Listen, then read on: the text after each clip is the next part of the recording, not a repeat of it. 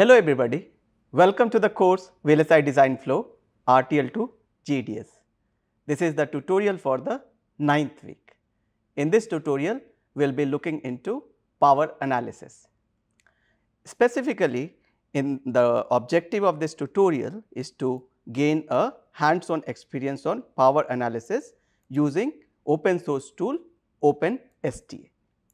So, the requirements for this tutorial is that first we should have OpenSTA installed on our system. So, the installation and how to run OpenSTA was described in tutorial 7. So, if you have not yet installed uh, OpenSTA, please install it by taking help of tutorial 7. Then we will be needing the following files, the design file test.v, script file test.tcl, the SDC file test.sdc and the technology library toy.lib. So, all these files are available on the NPTEL website as study material for week 9. So, you can download those these files and use it for your experiments. Now, in this tutorial, we will be covering the concepts of power analysis. So, power analysis was discussed in lecture 29. So, let us first recap uh, the concepts of power analysis, then we will be carrying out the experiments.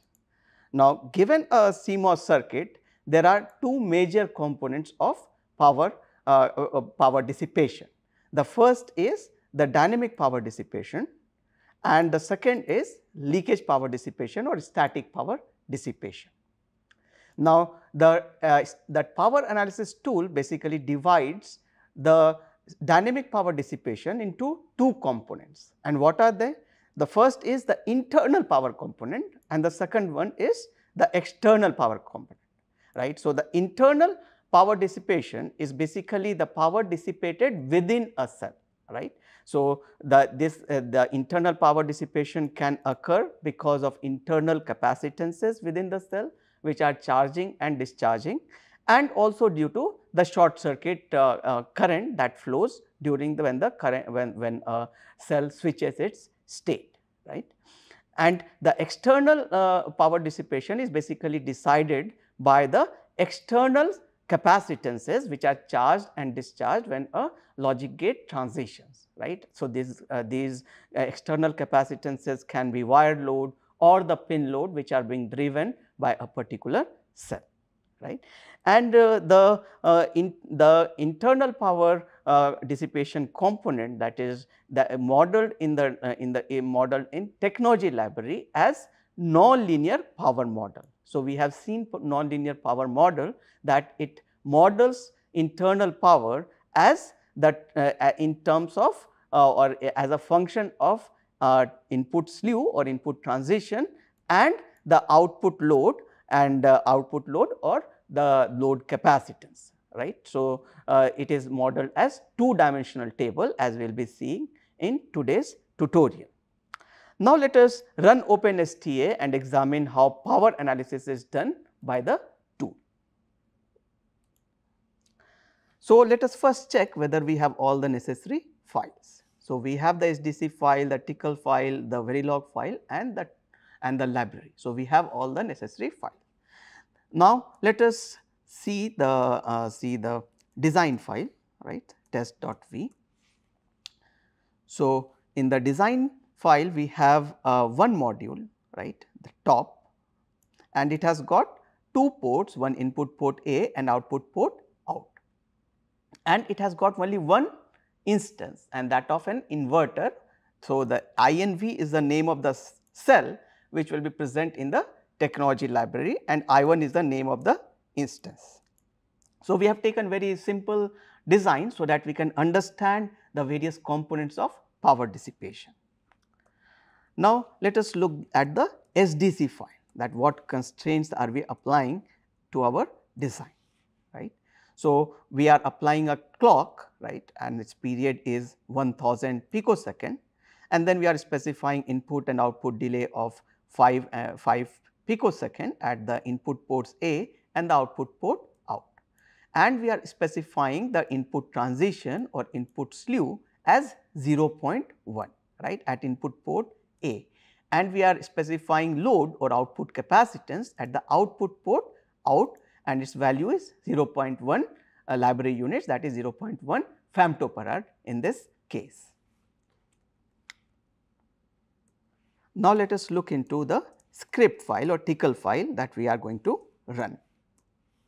So, in the uh, in this tutorial what we will first do is that we read the library toy.lib, then we read the design test.v and then link the instances of the uh, of the uh, design that is I1 or inverter with the cell in the library toy.lib. Then we will read the SDC file test.sdc. Then we set the power activity right. So, when the dynamic power dissipation depends on uh, the, uh, how, how frequent the switching is occurring in our circuit. So, to compute uh, dynamic power dissipation tool will know uh, will need to uh, need, need to know the activity of the signals right. So, if we do not specify tool can assume default activity in this case we are saying that the activity is 0.1 right and then we ask the tool to report the power right. Now, let us run the run the tool right open open STA tool right. So, the since the tool is already installed on my machine I can run simply as STA right. So, the tool in uh, the uh, tool open STA is run and now we say source test.tcl. So, we are running the script file right. So, the, the when we do source test.tcl all the commands that I have shown reading the verilog file, reading the library, linking and reading the SDC file all will be done right? And finally it is reporting the power right? We had written the command report power and the power is being reported here right? Now the tool has reported four columns related to power right? The first one is internal power the second one is switching power right? And third one is leakage power and then the total power right? Now let us understand that how did the tool compute the internal power as 1.5 into 10 to the power minus 7 and the unit is watt, right.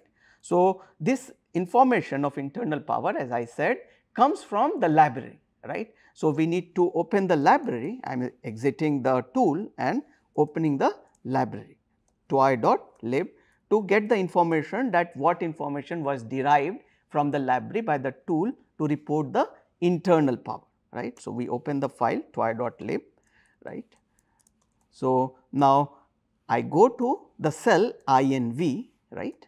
So, INV this is the cell right that was instantiated in our design and we see that there is a pin output pin Zn right and for this Zn there is internal power is, is uh, arc is here right. So, there is an internal power arc and the related pin is I. So, the power arc is pin I and Zn right and what are the values of the power dissipation? So, there are fall power and rise power is specified separately and there the values are specified here and at what slew and load these powers are these numbers are reported that is defined in power template right. So, now we have to go to this power template right which is at, at the top of this file right. So, I go add to the top of this file and see the template power template right. So, in the power template it is written that input transition time is there right and its value is 0.1 and 100 library units and total output uh, net capacitance or output load is 0.1 and 100 right. So, there are two characterization point for the slew and two characterization point for the load right. So, this is a toy library therefore, there are only two characterization points in typical library there will be say 8 characterization point for uh, for slew and 8 for uh, for uh, load and so on that is so it will be multiple characterization points will be there. But since this is a toy library there is one there are only 4 characterization points right and what are the values. So, uh, to know the values we have to go to the cell INV right this is the cell INV and we see the value. So, the value is 1, 2, 3, 4 for the fall case and 2, 4, 16 as for the rise case right. Now, corresponding to these values we can draw a table for easy understanding and I have drawn that and the table will look something like this right. So, the table uh, table contains 1, 2, 3, 4 right and the, the rows uh, the transition or slew are all along the rows and load is loads are along the call, right. So, 1, 2, 3, 4 for the fall case and 2, 4, 6, 10 for the rise case right. Now, which of these values will be used? Now, the values that, that will be used for internal power computation will come from the circuit condition and in circuit we have specified the constraint as 0.1 slew at the input port right in the SDC file we had written that and 0.1 femtofarad for the load right we had uh, used the command set load during the specifying the constraints right. So, corresponding to 0.1 slew and 0.1 load, load we have to see the uh, see the first row and first column. So, the fall value is 1 and the rise value is 2 right. Now, the values that are reported in a nonlinear power model, those correspond to energy consumed per transition. Those are not the power numbers. Those are basically the energy consumed per transition. That number is reported, right. Now, say uh, if we take the average of these two, so the average energy consumed per transition will be 1 plus 2 divided by 2 that is 1.5 and the unit of energy in the library is a point uh, is femtojoule. So, the average energy consumed per transition is 1.5 into 10 to the power minus 15 joule, right. We have converted femtojoule to joule.